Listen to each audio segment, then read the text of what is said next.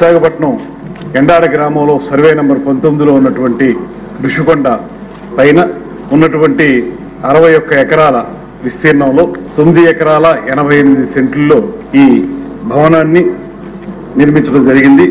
అది ఏడు బ్లాకులు కలిగినటువంటి ఒక రిసార్ట్ని ఏపీటీడీసీ వారు నిర్మించడం జరిగింది. అదేవిధంగా భవనాల నిర్మిత విస్తీర్ణం వచ్చేటప్పటికి మొత్తం ఐదు బ్లాకులు అందులో విజయనగరం బ్లాక్ ఒకటి అది మూడు బ్లాక్లు ఉన్నాయి మళ్ళీ అందులో ఏబిసి అని.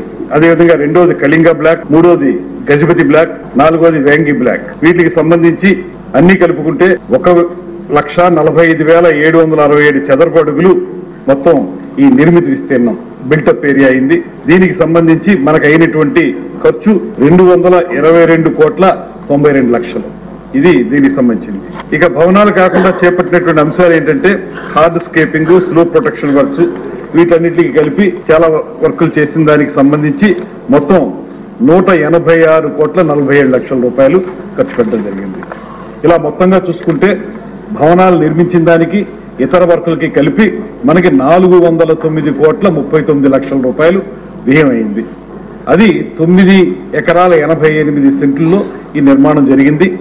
దీనికి సంబంధించి ఒక్కొక్క ఎస్ఎఫ్టీకి వచ్చి మొత్తం అన్ని కలుపుకుంటే ఇరవై మూడు వేల రెండు వందల అరవై ఒక్క రూపాయలు ప్రతి చదరపు అడుక్కి అయినటువంటి ఖర్చు. దీన్ని ఈ రకంగా చేసినటువంటి ఖర్చుగా చూపించడం జరిగింది. ఇంకా బి ప్రశ్న వచ్చేటప్పటికి ఇతర అంశాల కోసం చేసినవి రమారమి డెబ్బై ఒక్క కోట్ల తొంభై ఒక్క లక్షలు చేయడం జరిగింది. ఇది మొత్తంగా ఎండాడలో ఋషికొండ మీద నిర్మించినటువంటి ఆ భవంతి తాలూకు నిర్మాణ వ్యయం అదేవిధంగా ఎన్ని ఎకరాల్లో ఎంత మేరకు నిర్మిత విస్తీర్ణం చేసామనే దానికి సమాధానం.